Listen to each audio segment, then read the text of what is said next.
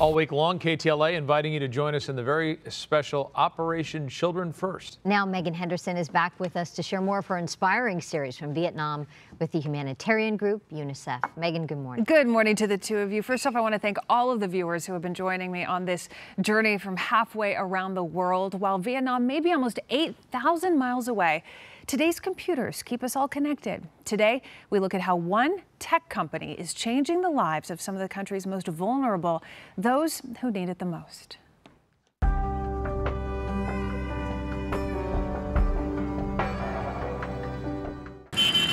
Over 7,000 miles from Silicon Valley and eight floors above bustling Nguyen Thi Minh Khai Street. At first glance, Enable Code looks like any other startup.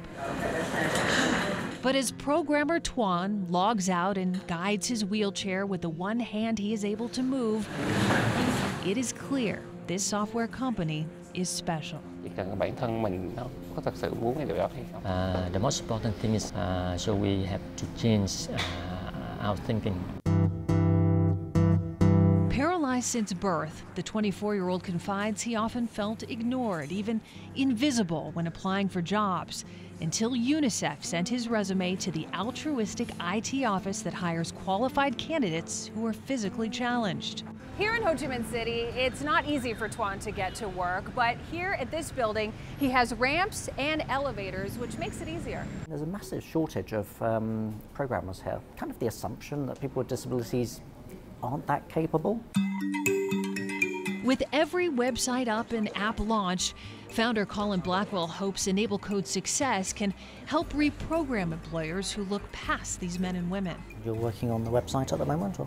Especially as Toan is now the sole provider for his 16 year old sister after his mom was recently forced into hiding and had to leave her family. Unfortunately, with poor families, where they take on debts and even small amounts borrowed compound over time if it's not through official institutions. So she's now in a situation where she can't realistically pay back that debt. Empowerment's so important because it gives it gives young people the tools that they need to do things for themselves. On his way to and from work, Toan has cracked the code to navigating the chaos and traffic. And while his body is not, his mind is agile and asks employers to see abilities in disabilities.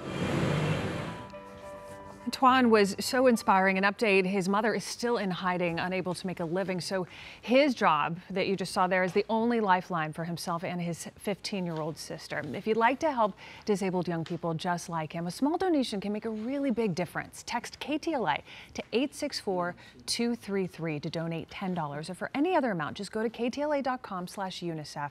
And a huge thank you again to all of you who've already donated so far, helping to make a better life for these young people who certainly deserve it. Mm-hmm. Megan, thank yeah. you. And we know you have more to bring us throughout yes, the week. We'll be back tomorrow with more stories. So All thank right. you again for following along. Terrific. Thanks, Thank Megan.